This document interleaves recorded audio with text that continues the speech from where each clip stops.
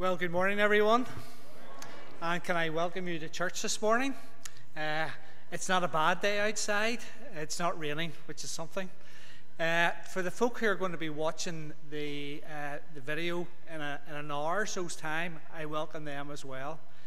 Uh, today, today is a special day insofar as we've got Neville Cobbe talking to us later on if you can see at the front, there's a bit of a chemistry experiment which he'll, he'll do with the children. So Luke and Lucas and Hannah is going to be for you. Uh, and this is also uh, Mr. Beggs' uh, last official day as a minister. He retires, I suppose, at midnight tonight and goes into retirement tomorrow morning. And we'll be thinking about that in our prayers. I want to read a few verses from Psalm 146 and it goes as follows Praise the Lord, praise the Lord, my soul. I will praise the Lord all my life. I will sing praise to my God as long as I live. And we're going to, to sing now. We're going to sing Psalm 146. So there we go. Praise ye the Lord.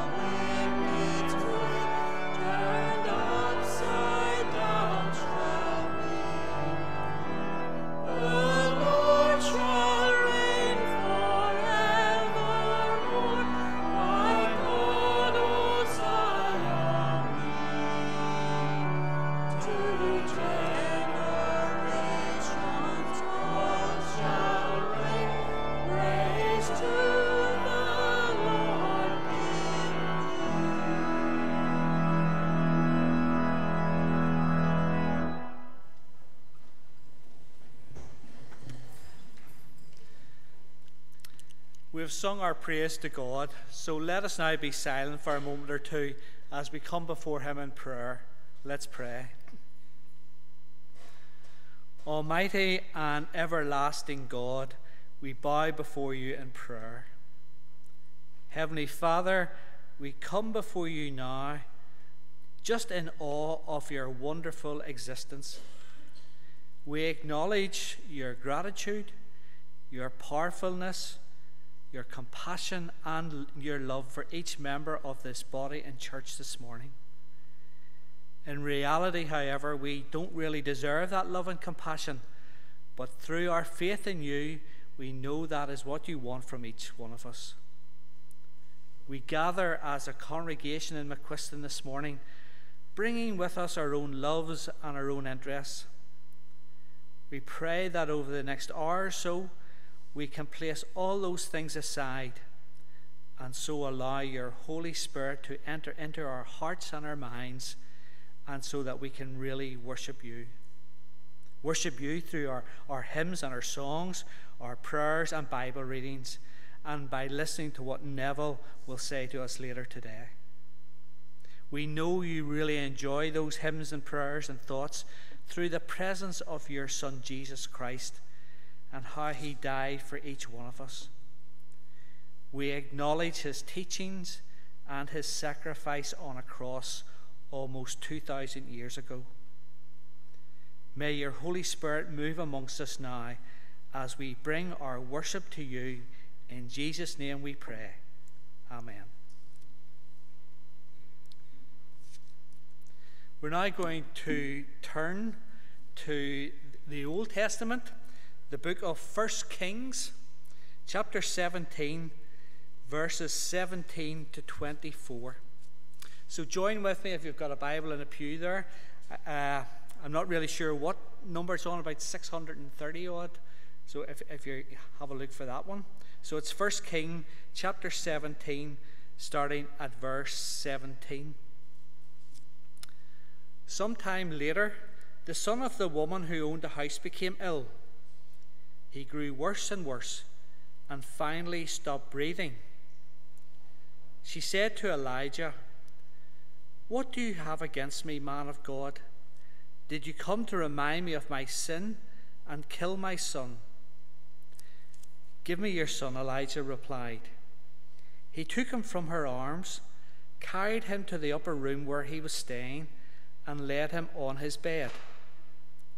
Then he cried out to the Lord, Lord my God, have you brought tragedy even on this widow I am staying with by causing her son to die? Then he stretched himself out on the boy three times and cried out to the Lord, Lord my God, let this boy's life return to him. The Lord heard Elijah's cry, and the boy's life returned to him, and he lived. Elijah picked up the child and carried him down from the room into the house. He gave him to his mother and said, Look, your son is alive. Then the woman said to Elijah, Now I know that you are a man of God, and that the word of, of the Lord from your mouth is the truth. Amen. We're going, we're going to sing again. Uh, this time might be a bit more familiar to you. We're going to sing two pieces. The first one is Creation sings the Father's song, and the second is I will enter his gates. So let's sing Creation Sings the Father's Song.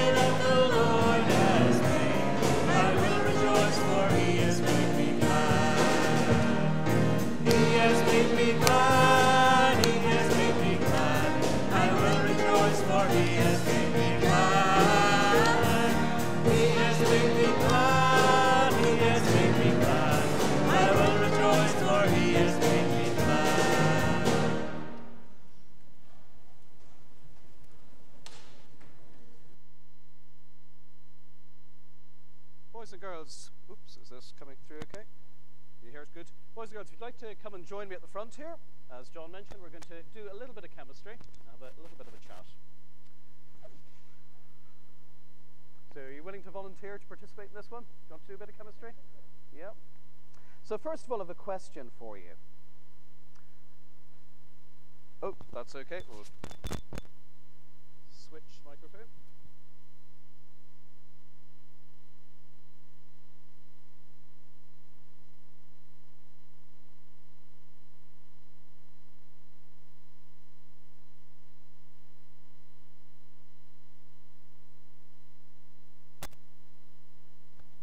This one's try again. Testing. Yep, that, is that okay?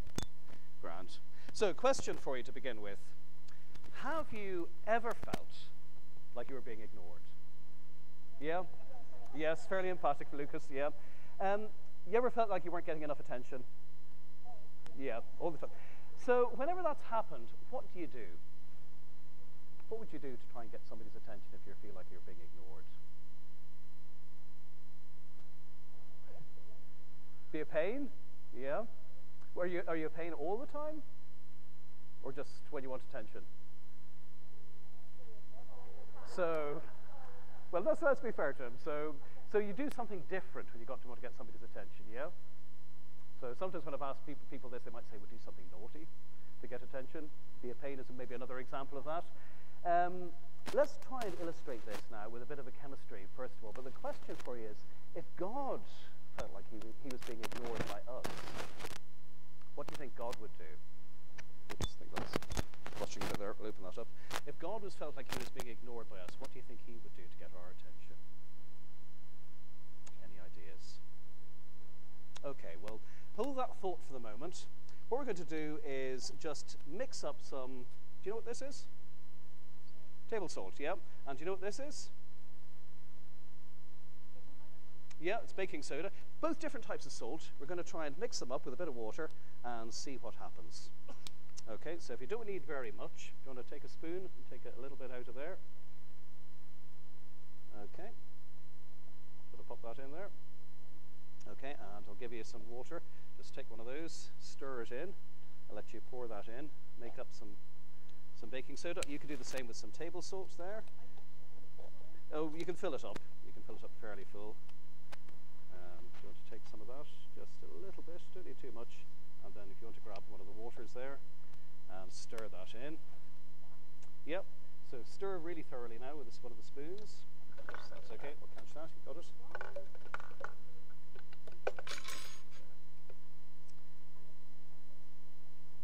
No, no. So what do you think is going to happen when we mix these two together? Any ideas? So let's give that a, a good stir. What do you think is going to happen? Going to disintegrate, yeah? A few people asked me before the service whether I was going to blow up the church. Do you think that's going to happen? No, no, no, no, no chance. no chance. Okay, you're fairly confident that's not going to happen. I'm fairly confident. Okay, and I'm going to give you another cup here. You're going to do the next bit. When those two are dissolved, we're going to mix them together. See what happens. Okay, do you want to pour a little bit of that in here?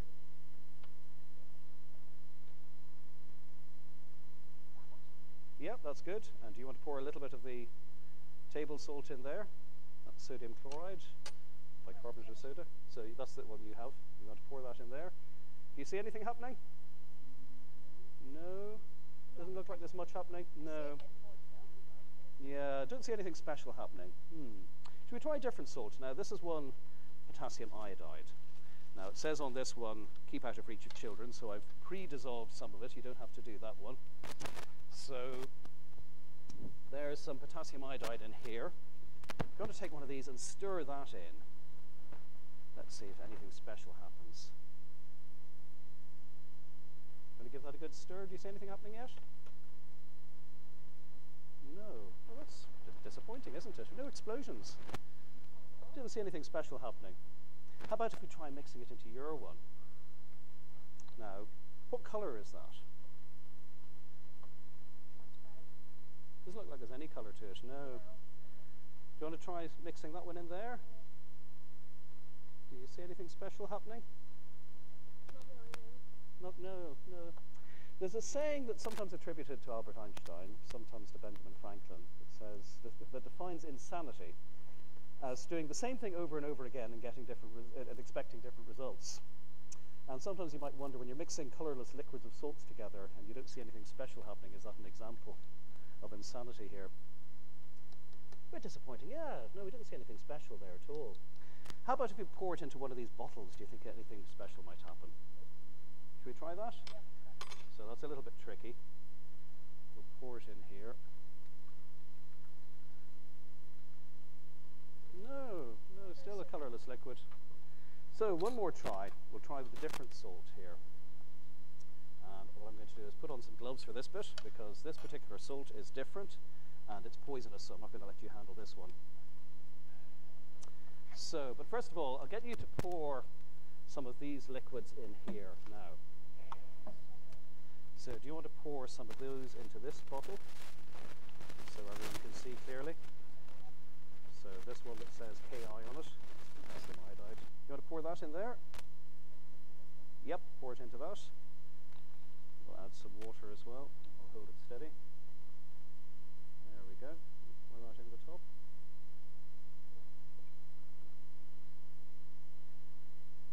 Okay.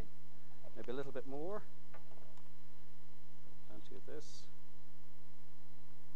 So what colour is that? Does it have any colour to it really? Transparent, yeah. Slightly yellow tint maybe, but it's really transparent. And this one, different type of salt again. Pour that in there. Pour, oops, that in there so everyone can see. There we go. Oops, that's the wrong.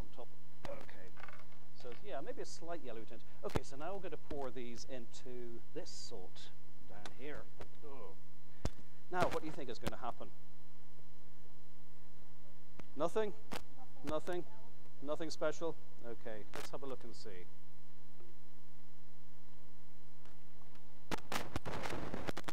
What does that look like? Yeah, it's white. It's white. White, like white paint. It's like they made white paint. Yeah. Let's try another one. So keep the lid on that. Don't open that one. What do you think is going to happen with this one? Could be right. Do you want to see? Yeah. So, usually, the take home message of this, usually when you mix different colorless liquids of salts together, you don't see anything special happening, do you? We don't, at least it doesn't look special to us. But when we mix some salts together, you get what's called a precipitation reaction, where you get this really colorful compound being produced like this, bright yellow. Similarly, when God is active in the world, usually, we don't, we're usually so used to the way God is acting through the things that He's made in His creation. And we sang in one of our last songs how creation sings God's praise. But sometimes we don't always notice it because we're used to it. Sometimes when God wants to act in a special way, he does what we call a miracle, something that grabs our attention. Maybe even more dramatic, in fact, usually more dramatic than just color, colored liquids appearing when you mix salts together. So God sometimes acts in different ways, but he's still active all the time in the world that he's made. Let's think about this as we pray together. So, arms out, wriggle your fingers, clap your hands over your head. Bring your hands past your eyes and let's talk to God. Let's pray. Our loving Father in heaven, We thank you for how you are always active in our world, how we can glimpse your power through the beauty of everything you have made in this world, through all of your creation. Help us always to trust in you. We thank you also for those special times when you grabbed our attention by performing miracles, especially through Jesus. Guide us by your Spirit that we might always praise you, both in the ordinary and the extraordinary things that you do. We ask this in Jesus' name. Amen. So, we're going to sing together, recognizing how God always is active in the world, how He's got the whole world in His hands.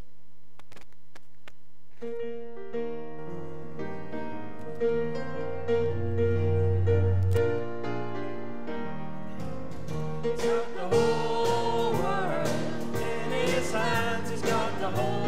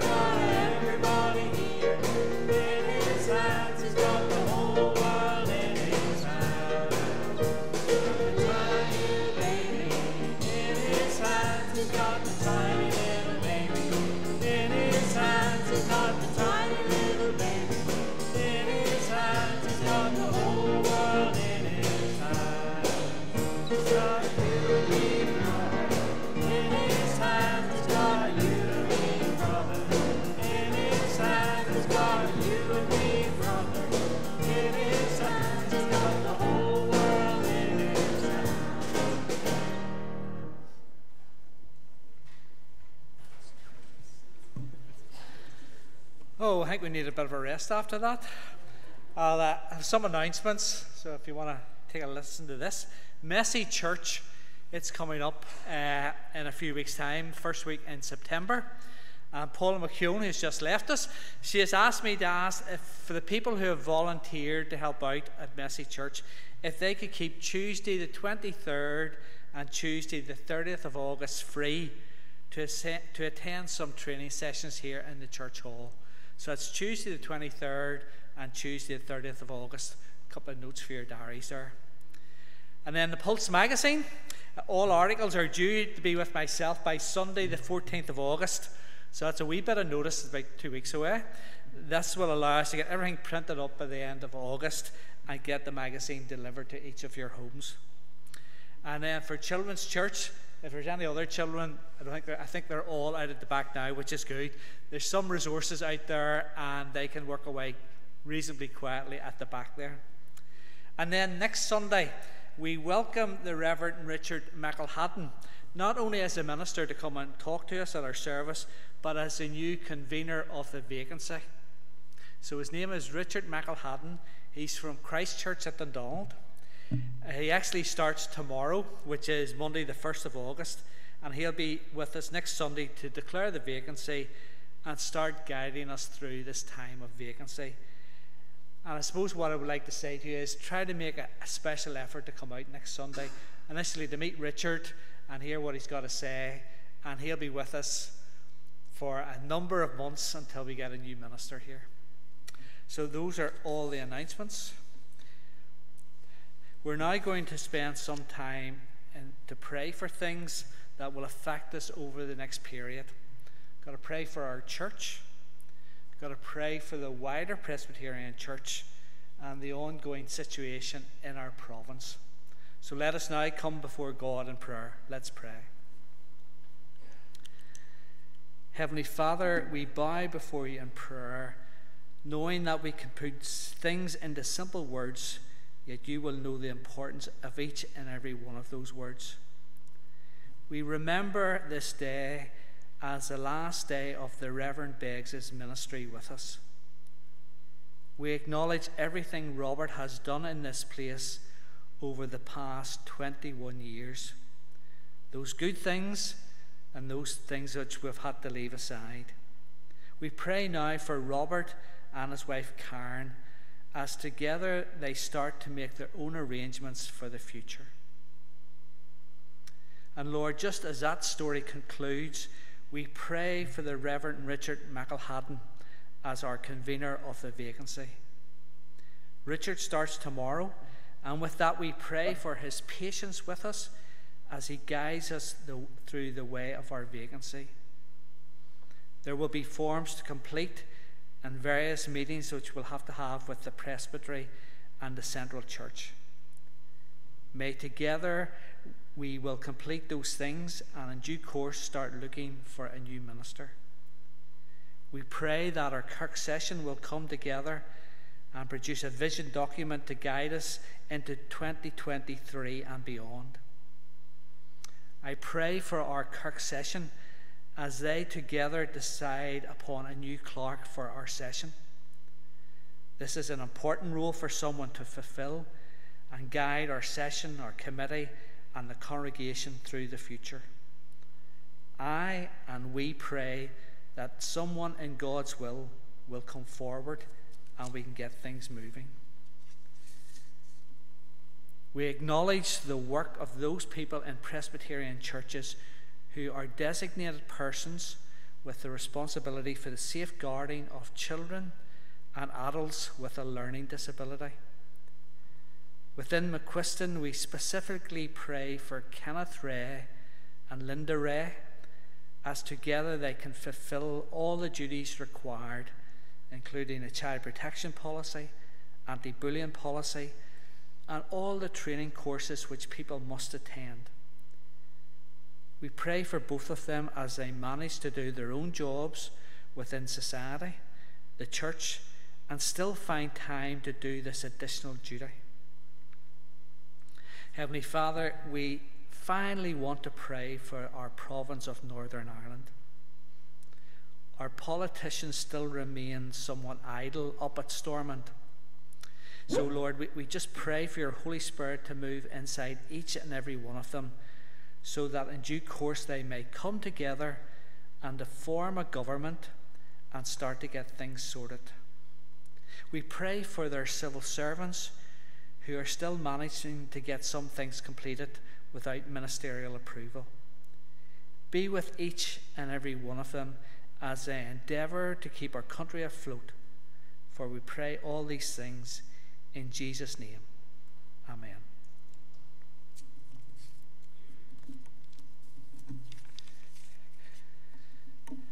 We again turn to God's Word, and our second Bible reading is Luke chapter 7, verses 11 to 17, and it's on page 135 of the New Testament. So it's Luke chapter 7, verses 11 to 17, and it's entitled Jesus Raises a Widow's Son. Soon afterward, Jesus went to a town called Nain and his disciples and a large crowd went along with him. As he approached the town gate, a dead person was being carried out, the only son of his mother, and she was a widow.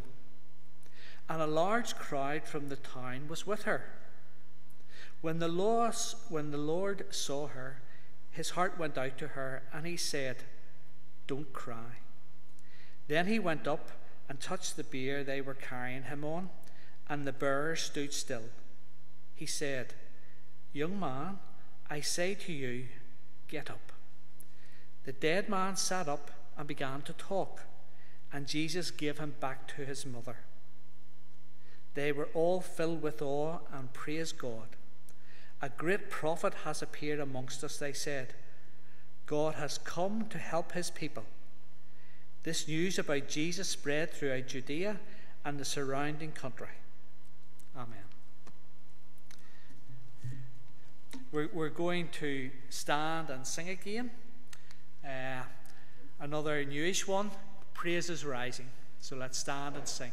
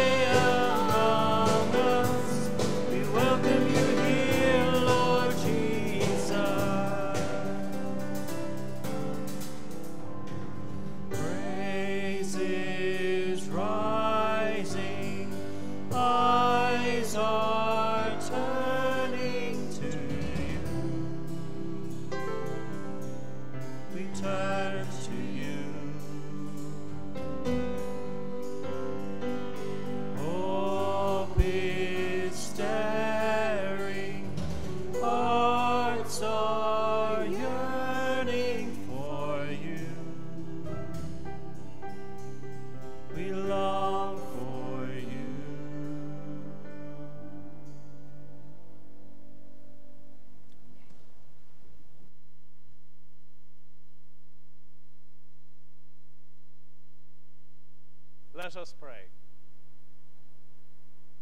May the words of my mouth and the meditations of all our hearts be acceptable in your sight, O Lord, our rock and our Redeemer. Amen. I would like you to try, if you can, and use your imaginations. Imagine you were in Nain at the scene of the, of, of, of the events that were described in the gospel reading that John read for us earlier this morning. Maybe try and imagine the atmosphere. Maybe it's a hot and dusty day. We've experienced a few of those this summer. And imagine you're just positioned just outside the gates of the city. Over on the horizon, you can see a crowd approaching, surrounding a figure who you may not recognize, you may not have seen before. Various followers. And then coming out of the gates of the city, you see another crowd. This time it's a funeral procession. And there are people wailing, maybe paid mourners. There is a mother who is grieving. She's a widow. Person being carried out on a stretcher, a bier, an open coffin is her only son. She's probably lost the only means of support that she had in her family. We don't know the age of her son. He's addressed as a young man. Could be a wide range of ages, but potentially he could have been the only breadwinner in the family after she was widowed. So you then see this other crowd on the horizon coming close, being led by this figure. And wait, what's he doing? He's coming right up to the coffin where the dead body is and touching it. Does he not realize that's going to make him ritually unclean? Now, who are you looking at? Do you look at the mother, the widow, whose son was dead, is now alive? Can you imagine what thoughts are going through her head at this time? Do you look at the person who's visiting this town, Nain? Is Jesus, of course. Do you look at him? Do you look at the son who was dead and is now alive? What do you think he's thinking? Maybe wondering. We try to switch this one. Okay. Does that sound better? Oh, yes, definitely. So look at the, the son. What do you think he's thinking? I mean, he was dead. At that point, he probably wasn't thinking anything. Now he's suddenly alive, and now everybody's staring at him. Maybe thinking, what am I doing here? What's happening? Why is everyone looking at me? See, the thing is, things like this don't happen every day. I mean, has anybody here ever been to a funeral where a dead person has come to life again? Probably not. These are unusual, extraordinary events. And as I explained with the children, sometimes God acts in extraordinary ways to grab our attention, to alert us to something really special. It's something we would describe as a miracle. We would describe it as a miracle. Now, to define a miracle, however, is not always straightforward. For the sake of argument, and there are problems with this definition as I'll get into later, but for the sake of argument, for the time being, we can define a miracle in the same way that the um, Scottish atheistic philosopher based in Edinburgh of the so called Enlightenment, John, uh, David Hume, described a miracle. David Hume described it in these terms A miracle is a violation of the laws of nature, and as a firm and unalterable experience has established these laws. The proof against a miracle, by the very nature of the fact, is as entire as any argument from experience can possibly be imagined. So Hume defines a miracle as a violation of the laws of nature. Now, there are problems in terms of Hume's definition, but if, if we take this for the time being, a violation of the laws of nature, what, first of all, are the laws of nature in themselves? Merely descriptions of what we usually observe happening in the natural world. An English clergyman of the 1800s, author of The Water Babies, a work of fiction, Charles Kingsley, described the miracles as the customs of God how God normally operates in the natural world. And I think this is a good way to understand the laws of nature. But if we're to take violations of the laws of nature, how often do we see these in the Bible itself? Never mind our own everyday experience. How often do we see them? Well, miracles in the Bible, as you can see up on the screen there, are usually described by different words.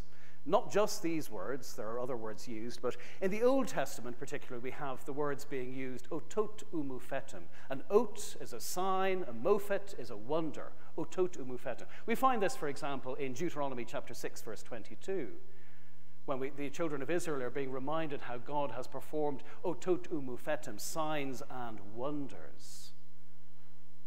Again, we find this reflected in the New Testament. Jesus cautions people in John chapter 4, verse 48, says, Unless you see signs and wonders, you will not believe. Samaya kaitarata, signs and wonders in Greek again. Sometimes people might be false prophets performing signs and wonders. In Matthew 24, verse 24, we have Jesus warning people against false prophets performing samaya megala, great signs, kaitarata, and wonders. And when Peter is addressing the crowd at Pentecost in Acts chapter, 20, uh, Acts chapter 2, verse 22, he describes how Jesus was a man attested, accredited to God to you by mighty acts, wonders, and signs. Dunamesi, kaitarasi, kaisamaios. Dunamesi, think of it like dynamite, something explosive, something that really grabs our attention. Tarasi, again, it's wonders and samaios, signs. So we're dealing with things that are not merely a spectacle, but something that points specifically to God acting in a special way. A sign and a wonder. The two things put together. This, there are other words sometimes used in our translations reflected as miracles. Erga in John's Gospel are works that Jesus performs, but these are the words we usually encounter to describe the miraculous. So they have a purpose. It's a wonder that grabs our attention, but it's a sign that points very specifically to God acting in a particular way. Now, if we're to go through the pages of the Bible, we'll find signs and wonders aren't evenly distributed. They were particularly associated, as I've mentioned earlier, referencing Deuteronomy, with Moses and also with his successor, with Joshua. We've heard an example of a dead person being rise, raised, to dead, raised from the death um, in 1 Kings chapter 17, performed by Elijah. Lots of signs and wonders are associated with Elijah and also his successor Elisha. Both raised people from death. Now, David Hume, in his chapter on miracles, in his inquiry concerning human understanding, admits that for him it would be a miracle if a dead person came back to life. That's one of his key definitions of a miracle. He defines it as such because he thinks nobody's ever observed this. But we have testimony of this, certainly in the Bible. We have three examples of resurrection miracles throughout the Old Testament. We've heard about Elijah raising the widow of Zarephath's son, Elisha raises the Shunammite woman's son, and also then Elijah, uh, sorry, Elisha, when he's dead, his, somebody falls into his grave and his bones, contact with his bones brings somebody back to life. So those are three resurrection miracles occurring throughout the Old Testament. Not that many. Violations of the laws of nature, if we're to think through all of the different prophets of the Old Testament, many of them don't have any that we would define in that way. So we're to think of Ezra, Nehemiah, any violations of the laws of nature there? How about in Esther? How about in Job? How about in Malachi, Nahum, Habakkuk, Obadiah, Jeremiah, Ezekiel. I mean, certainly remarkable visions and prophecies there, but do we have violations of the laws of nature? So they're not evenly distributed. Isaiah, yes, we do have one miracle particularly associated with King Hezekiah, with the shadow appearing to reverse its direction, but they're not evenly distributed, mainly associated with Moses and Joshua, Elijah, and Elisha throughout the Old Testament. And when we come to the New Testament, of course, then we have a spectacular quantity of miracles being performed by Jesus. The question is why do we not see them more often? The Anglican clergyman, late Anglican clergyman, and theoretical physicist Sir John Polkinghorne described how the problem for us with a miracle isn't a scientific problem. Really, it's not a scientific problem, it's a theological problem concerning the consistency of divine action. Why does God do something in some circumstances and not in others? Or, as John Polkinghorne put it uh, in, something of a caricature, it sometimes might seem to people that God does something today that he didn't think of doing yesterday and couldn't be bothered to do tomorrow. Well, obviously, that's not the case, and that's not what John Polkinghorne himself thought. And writing in one of his books, he described how miracles are not arbitrary divine actions, but rather events of deep disclosure. Signs and wonders, utot umufetim, samaya kaitarata, signs of God's activity, events of deep disclosure, but also that they make us wonder. This is what we're dealing with here. Now, resurrection miracles in the New Testament, we have more. We have six, double the quantity in the Old Testament, four associated with Jesus. And I'll make it clear at this point, I'm not dealing with Jesus' own resurrection from the dead, which is unique, which is the first fruits of the hope of all that we all have.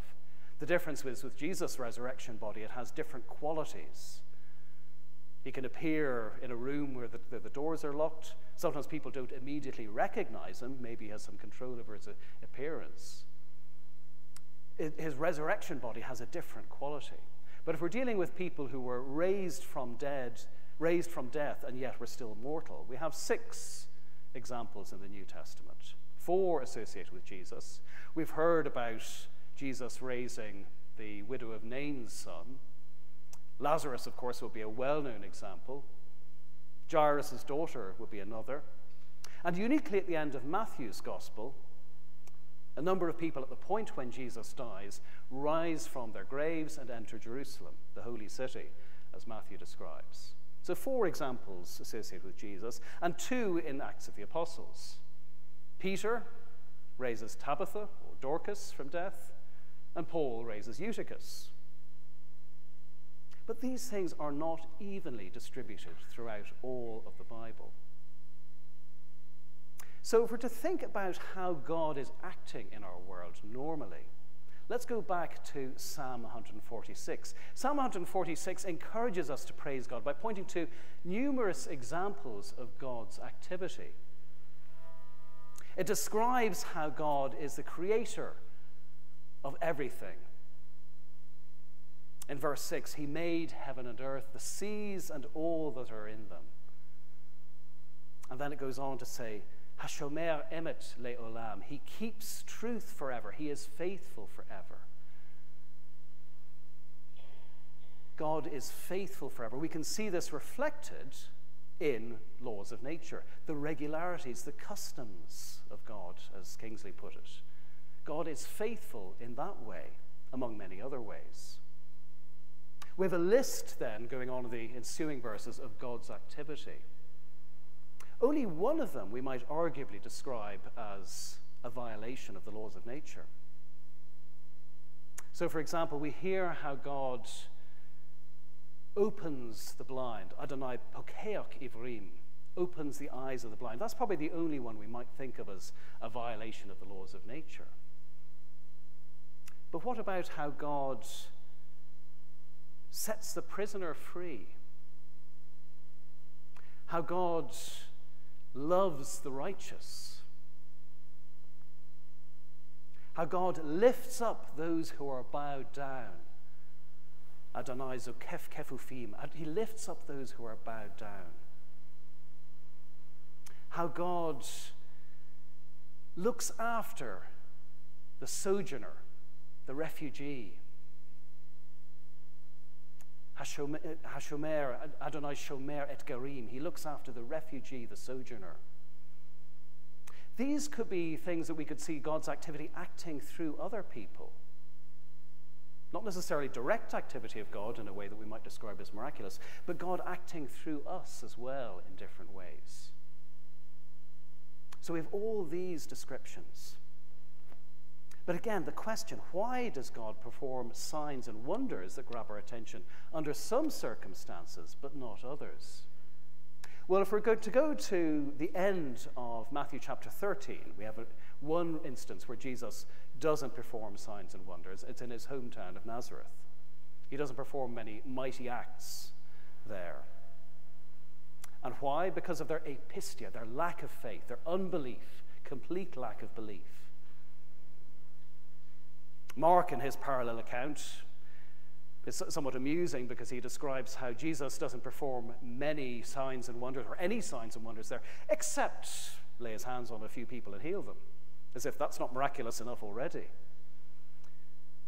So, where people lack belief somehow, Jesus does not perform as many miraculous signs. Now, the account we heard of Jesus raising the widow of Nain's son, immediately follows on Jesus healing a centurion's servant from a distance at the beginning of Luke chapter 7. And Jesus describes there how he hasn't seen such faith in, in, in Israel, but it's expre- expressed here by a Gentile who's not willing to have Jesus even come into, under his roof and just asks him to heal at a distance. So faith is clearly a motivator for Jesus performing miraculous healings. Again, if we're to go to chapter 12 of the Gospel according to Matthew, there's a request from the Pharisees to perform a sign. They say in verse 38, Teacher, we want to see a sign from you. And Jesus doesn't agree with this, he doesn't comply. He says, A wicked and adulterous generation looks for a sign. The only sign you will have is the sign of Jonah. For as Jonah was three days and three nights in the belly of a huge fish, so the Son of Man will be three days and three nights in the heart of the earth. So a lack of belief definitely seems to contraindicate Jesus performing signs and wonders. And it's not surprising that Jesus wouldn't comply with this request.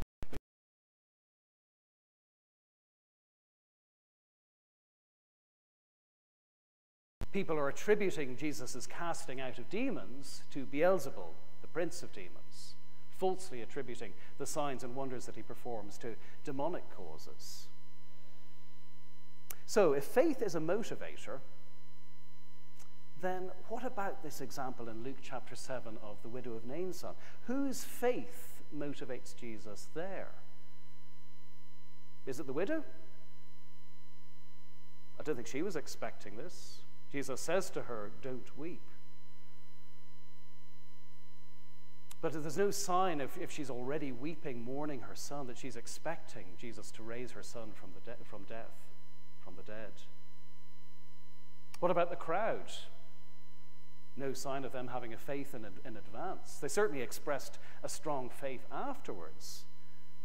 We read in verse 17 how the word of what Jesus had done uh, spread throughout the whole area of Judea and the surrounding countryside. What about her son? He's dead. He can't do anything. It's not because of his faith. So, what's motivating Jesus in this instance? Well, I think the answer is obvious. It must be just only Jesus' compassion. His heart went out to her, to the widow, as, as the NIV renders it. Jesus had compassion on her that was deep within, deep within the, the guts, gets across the, the, the, the element of the Greek here he has compassion on her, that her heart, his heart goes out to her. Now, we may not fully understand why Jesus healed in some circumstances, but not others. Faith was clearly a motivator, but also compassion. And the consequence of this was faith. Word of Jesus spread, and people describe Jesus as a great prophet. They even say God has visited his people God has shown favor on his people. But does that mean they necessarily recognize Jesus as God at this point? Probably not. The same wording of God visiting his people is used by Zechariah at the birth of John the Baptist. In Luke chapter 1, verse 68, Blessed be the Lord God of Israel, for he has visited and redeemed his people. So they're recognizing God's action here, but maybe not recognizing it fully in who Jesus is. But Luke does. Luke does in a remarkable way. In this passage, for the first time in Luke's gospel, he uses the title Hukurios, the Lord, to, to describe Jesus, the Lord. Now, what's interesting about this? Well, if ever a faithful Jew is reading the Hebrew scriptures and they come across God's name, represented by four letters, Yod He Vav He, they don't pronounce it. They say the Hebrew word Adonai, Lord, instead. Kyrios in Greek corresponds to Adonai in Hebrew. Luke, at this point, is recognizing Jesus as equivalent with God when he is describing him as Hokrios, the Lord, associated particularly with this miracle of raising somebody from death. Paul, when he is writing to the Romans, associates this power to raise somebody from death with God's creative power. In Romans chapter 4, verse 17, he describes God who gives life to the death to the dead and calls things that are not as though they were, or calls things not yet existing into existence. God, who can create out of nothing, can raise the dead to life. So, the consequence of this is remarkable faith.